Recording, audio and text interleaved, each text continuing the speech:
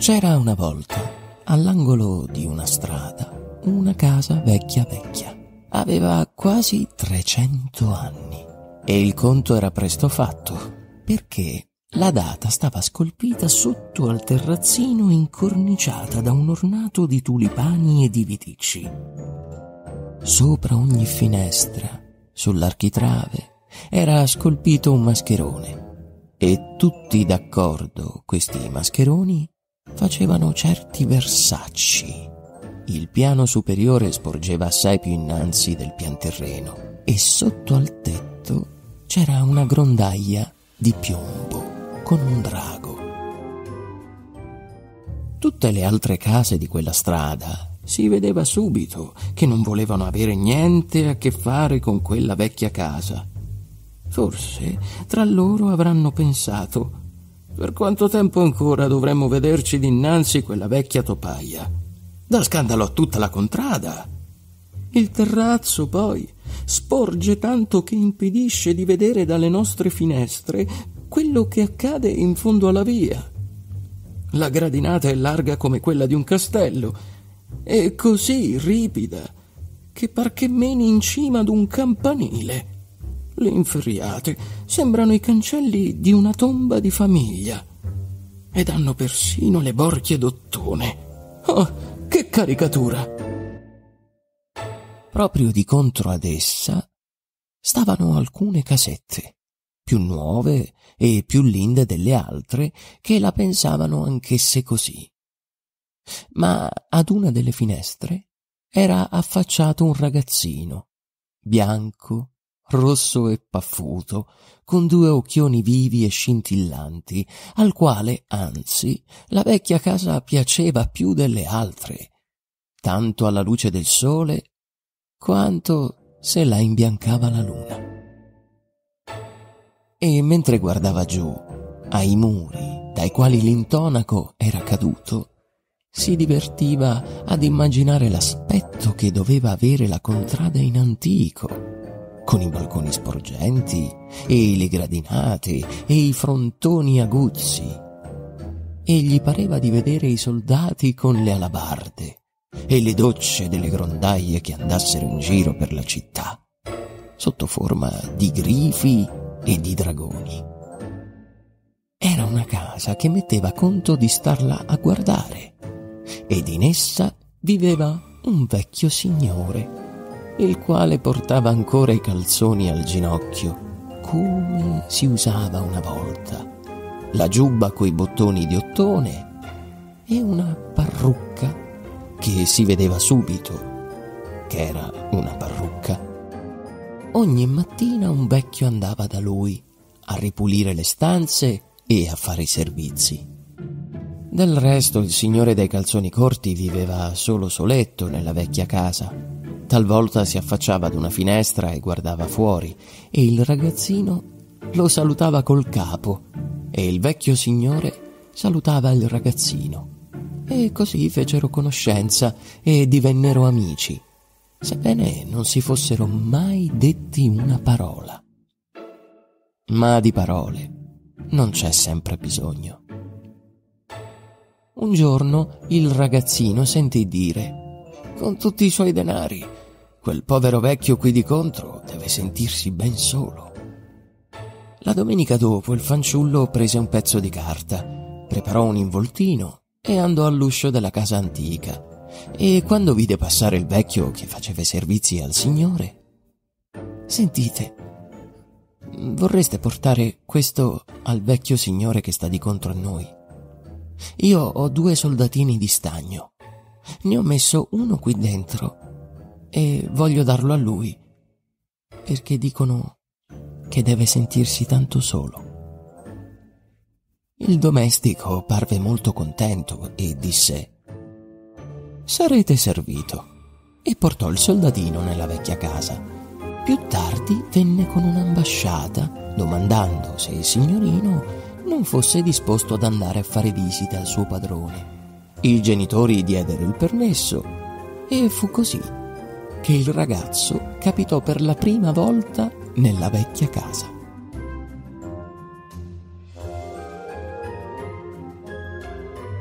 Sulla ringhiera della gradinata le borchie d'ottone scintillavano anche più dell'usato. Si sarebbe detto che volessero fare omaggio al piccolo visitatore. E pareva che i trombettieri scolpiti, perché sulle porte c'erano proprio due trombettieri che uscivano dal calice di un tulipano, soffiassero nelle lunghe trombe con quanto fiato avevano. Mai come quel giorno avevano avuto le gote tanto gonfie.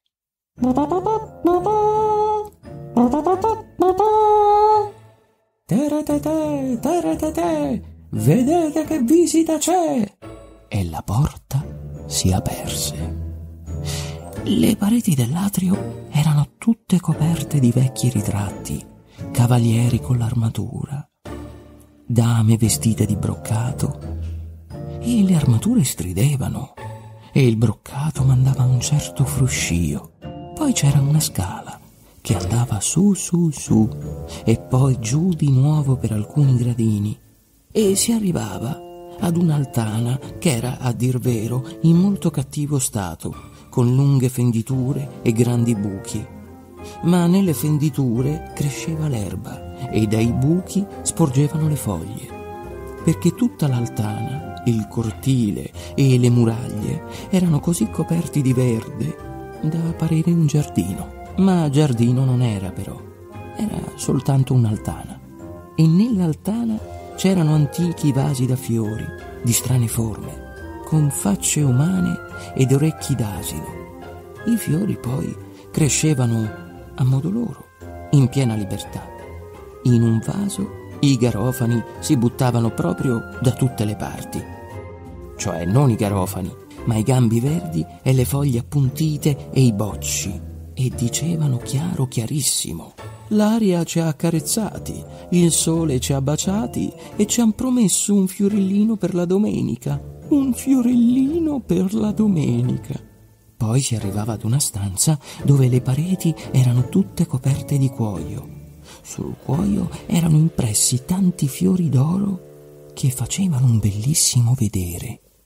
Il fiore, il fiore poco, poco dura, dura Resta, Resta il, cuoio, il cuoio se va l'adoratura, dicevano le pareti. E c'erano maestosi seggioloni dall'alta spalliera, con i braccioli di legno intagliato. Siedi, dicevano.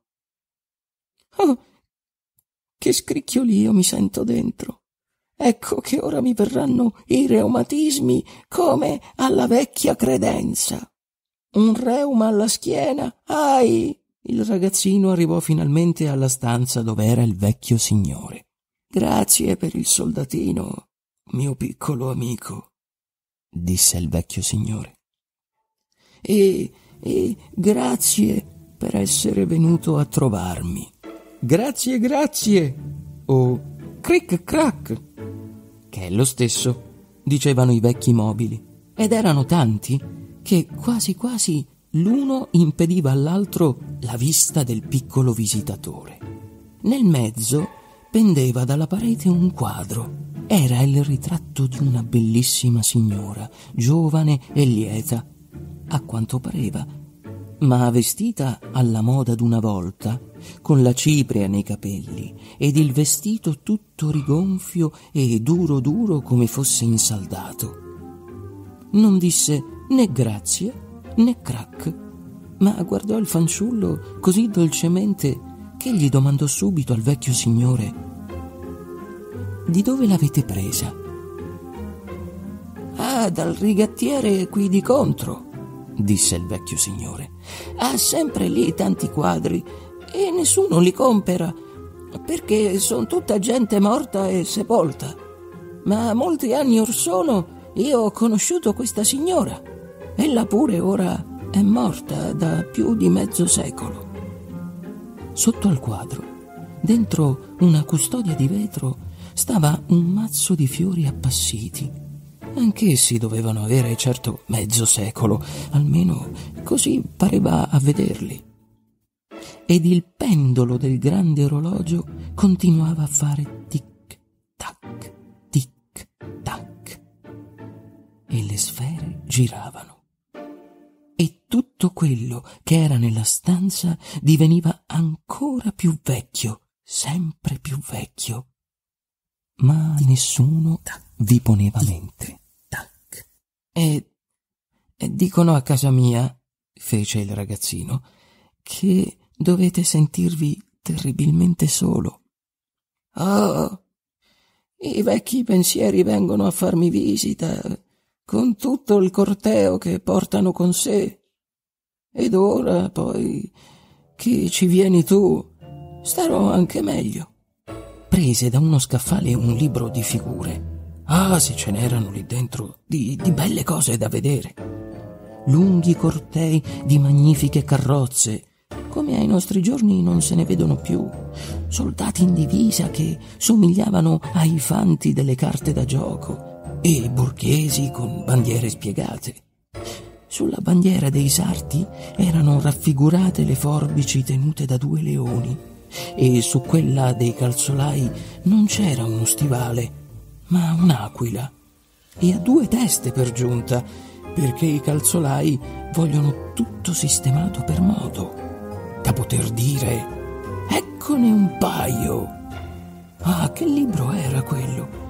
E il vecchio signore andò in un'altra stanza a prendere certa marmellata e mele e noci. Ah, si stava proprio d'incanto in quella vecchia casa. Ah, ma io non posso durarci! esclamò ad un tratto il soldatino di stagno che stava nel cassettone. Eh, tale una solitudine, tale una monotonia, qui che quando uno è abituato alla vita di famiglia non può più adattarsi a questo silenzio. Ma io non posso resisterci. La giornata è sin troppo lunga, ma la sera poi non termina mai. Qui non è come nella vostra casa di contro, dove la tua mamma e il tuo babbo parlano sempre insieme, in pace e in allegria. Tutti voi altri, cari ragazzi, fate un chiasso benedetto. Che solitudine qui da questo vecchio. Ci credi che nessuno gli dà mai un bacio? Che nessuno lo guarda affettuosamente né gli prepara l'albero di Natale? Per lui oramai non prepareranno che una fossa. Bimbo mio, non ci posso durare. Ma non devi guardare le cose dal lato più malinconico, disse il ragazzino. A me tutto sembra piuttosto bello. Anzi, e poi tutti i vecchi pensieri vengono a fare le loro visite, col corteo che si trascinano dietro. Sì, ma io non li vedo, non li conosco io. Oh, credimi, non ci resisto. Eppure bisogna, disse il fanciullo. Il vecchio signore tornò dalla stanza accanto tutto sorridente, portando le più squisite frutte in composta e mele e noci in abbondanza. E allora il ragazzo non pensò più al soldatino e se ne andò a casa beato e contento. Passarono i giorni e le settimane e ci fu grande scambio di saluti tra la vecchia casa e la casa del ragazzino. Poi egli riattraversò la strada e tornò un'altra volta dal suo vecchio amico. I trombettieri scolpiti suonarono di nuovo.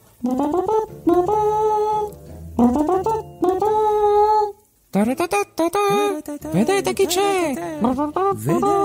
Vedete che Le sciabole e le armature tintinarono. Le vesti di broccato delle dame salutarono col fruscio. Il cuoio ne disse delle sue ed i seggioloni intagliati si lamentavano dei reumatismi alla spalliera.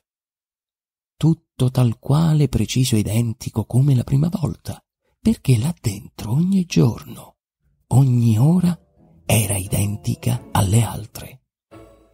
Non posso durarci, disse il soldatino. Ho pianto lacrime di stagno.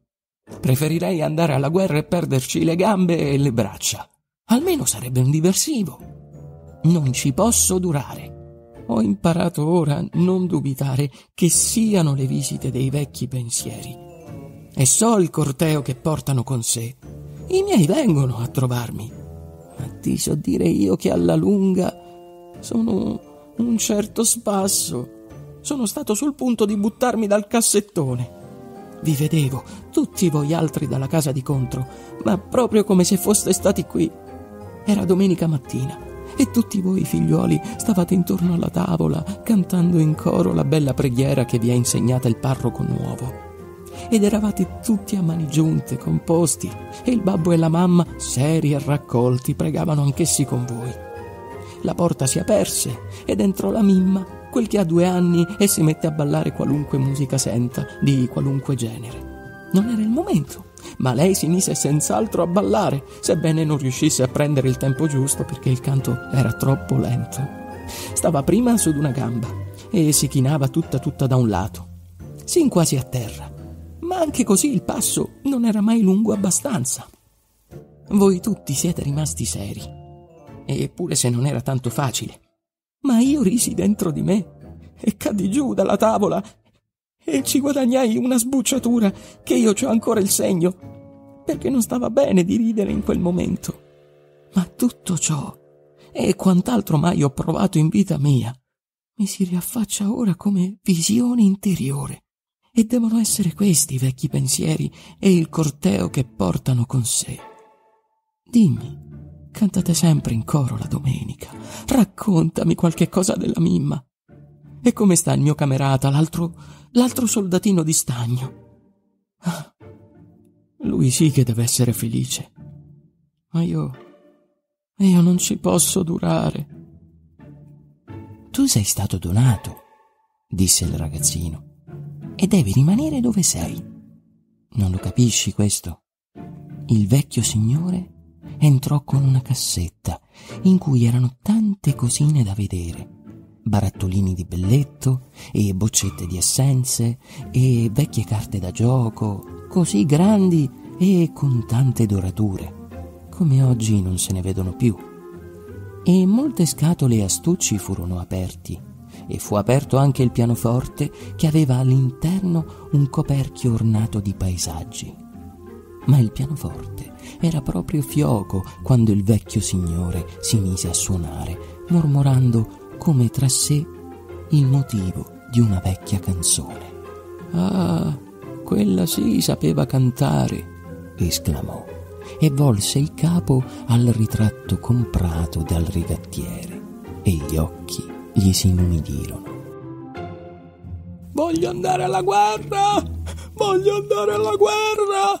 gridò il soldatino, quanto più forte poté e si buttò a capofitto dal cassettone. Dove era andato? Il vecchio signore cercò, il ragazzino cercò, ma s'era così ben riposto che non fu possibile di ritrovarlo. Oh, lo troverò io, disse il vecchio signore. Ma non lo trovò mai più. Il pavimento era così scrostato e pieno di buchi che il soldatino era caduto dentro ad una fenditura e là era rimasto come in una fossa aperta. Terminò la giornata ed il ragazzino andò a casa. E passò la settimana e passarono molte altre settimane. Le finestre avevano i vetri appannati dal gelo, sicché il fanciullo doveva soffiare un po' del suo alito caldo contro il vetro per aprirsi uno spiraglio e poter guardare la vecchia casa. La neve era penetrata a livellare gli intagli e le sculture, aveva coperto le iscrizioni ed anche sulla gradinata era alta alta, come se la casa non fosse più abitata. E in realtà, nella casa non c'era più alcuno, perché il vecchio signore era morto. La sera un carro si fermò dinanzi al portone e il pover'uomo ci fu messo dentro chiuso in una cassa lunga e stretta. Doveva andare a riposare nella tomba della famiglia in campagna. Così fu portato via, ma nessuno lo accompagnò nell'ultimo viaggio, perché tutti i suoi amici erano morti. Soltanto il fanciullo mandò un bacio con la manina al feretro, mentre il carro funebre si allontanava. Pochi giorni dopo ci fu un'asta nella vecchia casa e dalla sua finestra il fanciullo vide portar via gli antichi guerrieri e le dame ed i vasi da fiori con gli orecchi d'asino. e i seggioloni e le grandi credenze. Un oggetto fu portato qua, un altro là. Il ritratto di lei fu ricomprato dal rigattiere e tornò nella bottega dove rimase appeso. Nessuno conosceva più la signora né si curava di averne il ritratto. In primavera anche la casa fu demolita perché la gente diceva che era una vecchia topaia. Dalla strada si vedeva per entro nello squarcio, sino alla stanza dalle pareti di cuoio istoriato. Dei suoi cuoi strappati e lacerati rimaneva ancora alle pareti qualche lembo, e la verzura dell'altana pendeva abbandonata sopra i mascheroni degli architravi che minacciavano rovina. Poi, dove era la vecchia casa, non si vide più che una spiazzata. Fu costruita una casa bellissima, con grandi finestre e muraglie bianche, lisce lisce, e davanti, proprio dove sporgeva la vecchia casa, fu piantato un giardinetto, e un'alta vite rigogliosa si arrampicò sul muro vicino. Davanti al giardino fu rizzata una cancellata, con un bel cancello, che diede a tutto il complesso un aspetto signorile. La gente si fermava e guardava dentro la cancellata. I passeri si posavano a dozzine sulla vite e chiacchieravano tutti insieme, quanto più forte potevano. Ma non chiacchieravano della vecchia casa, perché di quella non potevano ricordarsi. Tanti anni erano passati, tanti che il ragazzino s'era fatto uomo, e un bravo uomo, che formava la gioia ed il sostegno del suo babbo e della sua mamma. Aveva preso moglie da poco ed era venuto ad abitare con la sposa proprio la casa di contro alla sua, la casa che aveva dinanzi il giardinetto. Un giorno stava per l'appunto nel giardino con sua moglie e la guardava piantare un fiorellino di campo che ad essa pareva tanto bellino.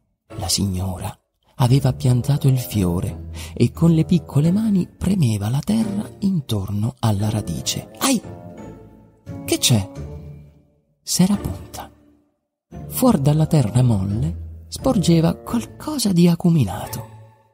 Ma pensa. Oh, non era il soldatino di stagno, lo stesso soldatino che era andato smarrito nella stanza del vecchio signore e prima era rimasto per tanti anni nascosto tra le macerie e le spazzature, e poi sotterrato, per tanti e tanti ancora. La giovane signora lo ripulì dapprima con una foglia verde e poi col suo bel fazzolettino deliziosamente profumato. Quel profumo destò il soldatino, sì che gli parve di riaversi da un lungo svenimento. Lasciami vedere, disse il marito, e sorrise e scosse il capo. Oh, mi pare impossibile che sia quello. Eppure mi rammenta una certa storia di un soldatino di stagno quando ero un bambinetto e raccontò della vecchia casa e del vecchio signore e del soldatino che aveva mandato per compagnia al pover'uomo perché non si sentisse più tanto solo. Al pensiero della vecchia casa e del vecchio signore, la sposina si intenerì. Può darsi, dopo tutto, che il soldatino sia quello, chissà, disse. Lo conserverò io e mi rammenterà tutto ciò che mi hai raccontato. Ma devi farmi vedere la tomba del vecchio signore. E non so dove sia, rispose il marito, e nessuno lo sa. Tutti i suoi amici erano morti e nessuno ebbe cura della sua tomba. Io allora Ero tanto bambino. Ah, che solitudine terribile deve essere stata quella. Eh sì, proprio terribile, disse il soldatino. Ma non essere dimenticati è una gioia grande. Grande! ripeté una voce lì accanto.